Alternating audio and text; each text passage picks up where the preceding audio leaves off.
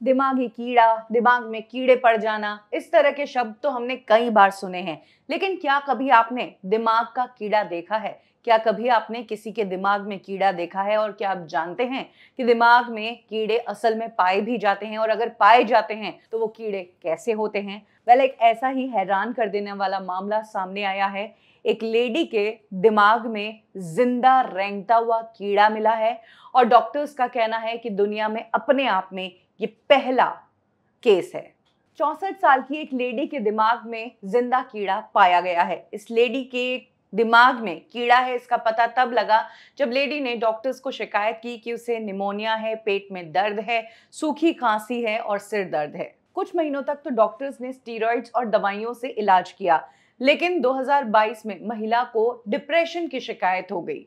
और महिला को भूलने की बीमारी भी हो गई, जिसके बाद डॉक्टर्स ने महिला के ब्रेन का एमआरआई स्कैन किया। तो उन्हें ब्रेन में ही गड़बड़ी लगी। डॉक्टर्स ने महिला को ब्रेन सर्जरी की सलाह दी। जब सर्जरी की तो डॉक्टर्स को महिला के ब्रेन से एक रेंगता हुआ ज़िंदा कीड़ा मिला।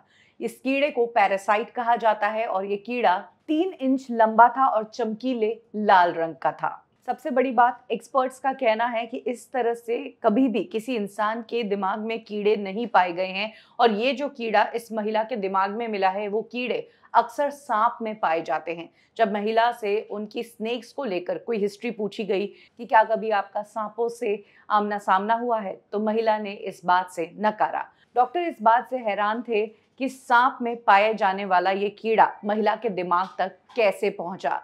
तब डॉक्टर्स ने पता लगाया कि आखिर महिला जिस एरिया में रहती है, क्या वहाँ पर सांप होते हैं, क्या लाइफस्टाइल है तो डॉक्टर्स को पता चलता है कि महिला के घर के पास एक नदी है, जहाँ पर कई सारे सांप पाए जाते हैं। डॉक्टर्स को ये भी पता चला कि महिला अपने किचन गार्डन के अंदर पालक उगाया करती थी। महिला की बताई हुई बातों को डॉक्टर्स ने जब ज्वाइन करके देखा तो ये निष्कर्ष निकाला कि हो सकता है कि ये जो सांपों के अंदर कीड़ा पाया जाता है वो महिला के किचन गार्डन में आया हो, पालक के ऊपर उसने अंडे दिए हो और वो अंडे वाला ही पालक महिला ने खा लिया हो, जिस कारण वो अंडे से निकला कीड़ा महिला के दिमाग तक पहुँच गया। दुनिया में ये अपने आप में पहला केस है और इसी से ये बात पता चल गई कि उगाने वाली सब्ज़ियाँ जो है, उसके ज़रिए जानवरों की बीमारियाँ इंसानों तक भी पहुँच सकती है। आने वाले समय में इन सारी चीज़ों को लेकर लोगों को सतर्क रहना होगा। किसी के दिमाग से ज़िंदा कीड़ा निकलने का डॉक्टर के करियर में ये पहला केस था।